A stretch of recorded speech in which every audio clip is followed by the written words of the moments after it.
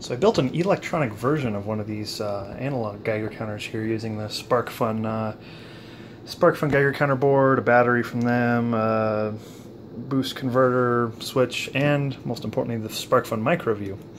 Um, it has its advantages and its disadvantages, um, but I'd say the biggest advantage is, of course, that this whole unit probably cost around $200, and this handheld Monitor 4 costs around $350, $400. Um, it doesn't have any audio feedback yet but um, it does a fairly decent job of giving me quick and uh, reasonable readings uh, for a rolling average. So I'll go over here and take the counter over towards a piece of uh, thorium ore here.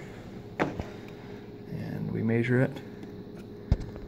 300 780 roundabouts 600 yeah, around about the 1,800 is what I read on the monitor for.